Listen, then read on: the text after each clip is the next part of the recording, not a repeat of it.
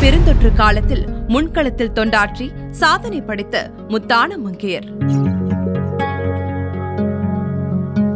மருத்துவர் செவிலியர் துப்புரவு பணியாளர் கல்வியாளர் உள்ளிட்டோரை பாராட்டும் புதிய களம்.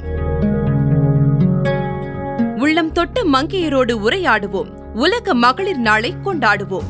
அச்சம் தவிர். மார்ச் எட்டாம் தேதி காலை ஒன்பது மணிக்கு மறு ஒளிபரப்பு இரவு ஏழு மணிக்கு நமது புது யுகத்தில்